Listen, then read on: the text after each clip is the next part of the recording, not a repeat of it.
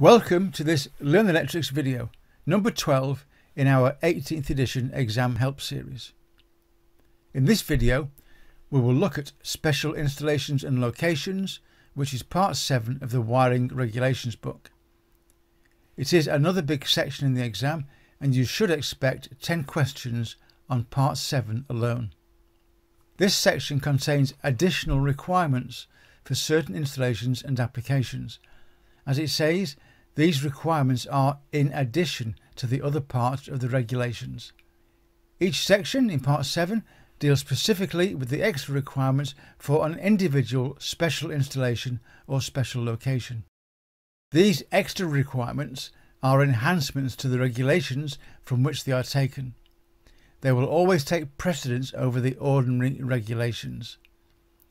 In all other respects, if there is not a special regulation, then the ordinary regulation will apply. For special locations, you must use the page 3 contents page in your search. It will save you lots of time in the exam. Don't flick through the book, go to page 3 every time, and you will find part 7 halfway down page 3. The section numbers are listed on the left and the corresponding page number on the right. Don't let your finger drift when finding page numbers Use a ruler or the straight edge of a piece of paper. Do not underestimate the importance of reading the names of these sections at least a few times before your exam. Knowing what is there on page 3 is so very important. Part 7 also has a contents page, the same list as page 3, except it is not as easy to find as page 3, and it has no page numbers to help you. So my advice, forget about page 239. It is not going to be of any use to you.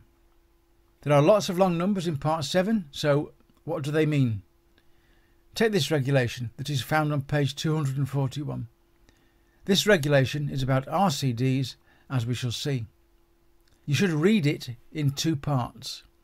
The 701 tells us it is section 701 it contains extra information about RCDs in bathrooms and shower rooms, and it is additional to the information in Regulation 411.3.3 in Part 4.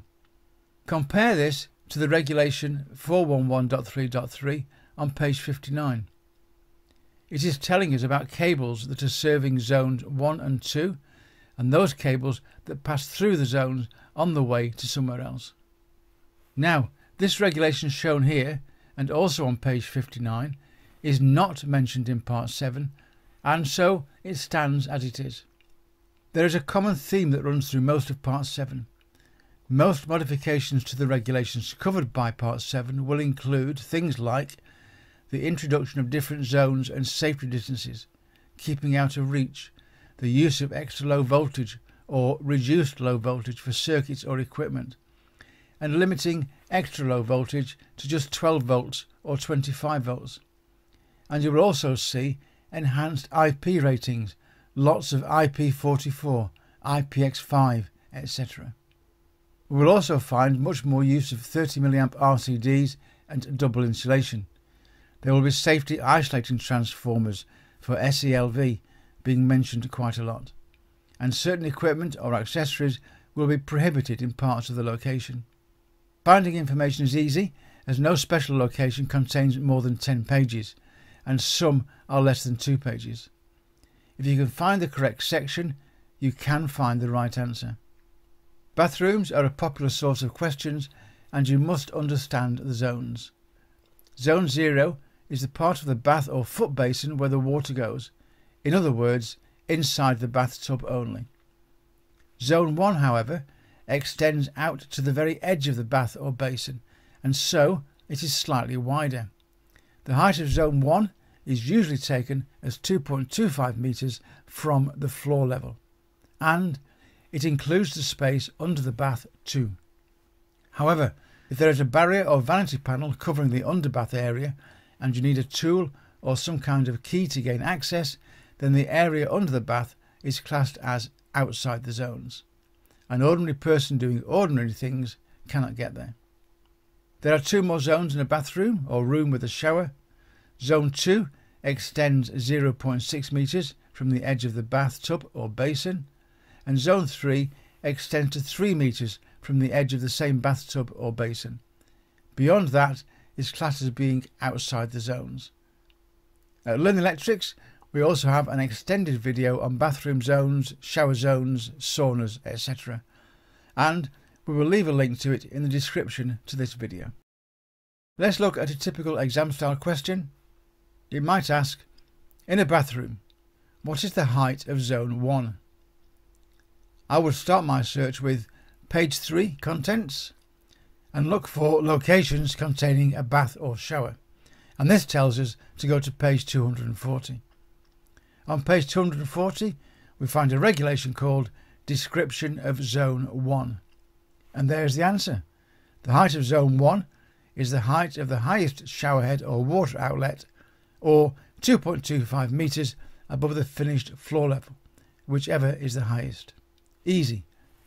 Let's do another question together. With regard to external influences in a bathroom, electrical equipment in zone 0 shall have what degree of protection? And this time we have four choices of answer. Only one is the most appropriate. We are still in bathrooms and on page 424 we'll find a heading called External Influences as mentioned in the question.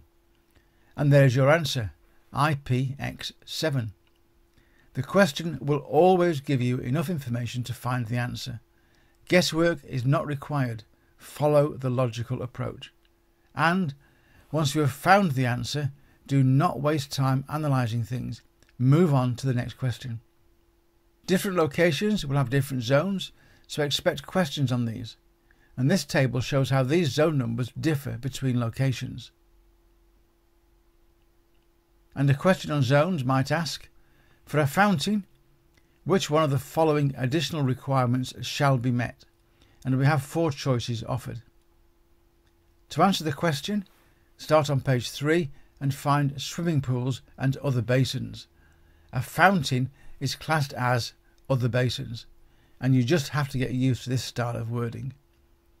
Go to page 245, section 702.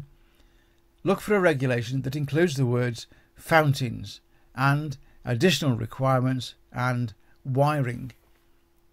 Regulation 702.522.23 contains the right words, and scanning through the regulation, answer choices A and B are not word for word the same. And answer C is wrong as cables are allowed in zone 0 subject to certain conditions. Answer D is the only correct answer, cable type H 07RN8-F. External influences appear in almost every section. Water ingress, dust, impact, ambient temperatures, chemicals, altitude, and a whole range of problems for the installation. If a question comes up on external influences, the answer will most often be found in regulation XXX.512.21 of each section as shown here where, in this case, XXX means section 701, section 702, etc. A full list of external influences will be found in Appendix 5, which we will look at next time. Sometimes you need to think carefully about a question. The correct section is not immediately obvious. An example of this might be this question. Equipment installed in a car park site shall be protected against mechanical damage to at least, and there are your four choices. But it doesn't matter how much you look, car parks are not listed on page 3. But ask yourself this what uses a car park? It has to be cars and other vehicles. And what is the wiring regulations about? It's about electricity. Put the two together and we have electric vehicles. We can find this, it's section 722 and points us towards page 316. And there is the answer. A devious question, but just apply some logic to it. Also, be certain that you're in the right section. These three here might sound similar, but they are not. You will be asked questions that can only be answered by looking in the correct section. A caravan is different to a caravan park. A mobile unit is not a caravan. And you can waste several minutes looking in the wrong section. Please read the question. And here is another example. These are not the same thing. They are not the same place as far as the regulations are concerned. You will be asked questions that are specific to a certain section. Get the wrong section and you get the wrong answer. Wrong answer, no marks. What I'm trying to say is read the question. It will always tell you where to look. Use page 3 to find the correct section. And it is now a matter of just a few pages to look through. And do not analyse the answer. Find the answer, move on. Now we can look at some questions. First, as always, the answers to the last questions on part 5 of the book. I'll give you a few seconds to pause the video and check if you need to. 8 out of 8, hopefully. Repeat that in the exam and you're well on your way to a pass. Okay, questions on special locations. This week there are 10 questions to have a go at. Question 1 is about swimming pools. Read the question Use page 3 to find the page number and then look for external influences. For question 2, find operating and maintenance gangways on page 3. If you find the correct section, you cannot fail to find the answer. Question 3 now. The question even tells you which section to go to. Which of the four possible answers is not specifically mentioned in the scope of the section. Easy. Question 4 is about showers, so just follow what the question is asking. This question, number 5, just needs you to follow the same logical approach. Electric vehicles, devices for fault protection. Do that and the answer is easily found. On to question six. All the clues are in the question. With question seven, it might be a little harder to find the correct section because the word fairground does not appear at the beginning of the section title. It is hidden near the end.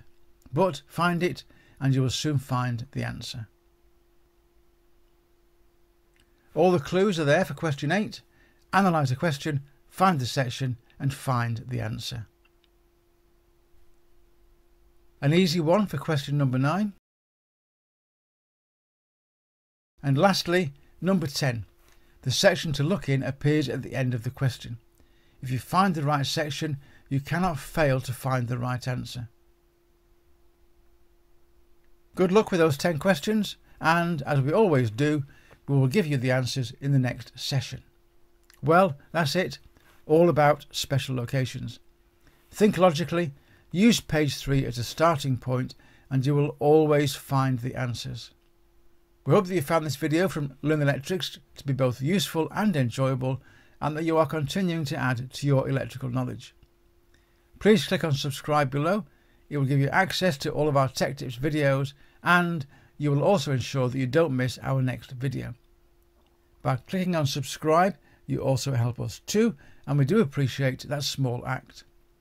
Also, Typing in Learn Electrics, all one word, into the YouTube search bar will give you access to all the videos. Thank you for watching and we hope to see you again very soon.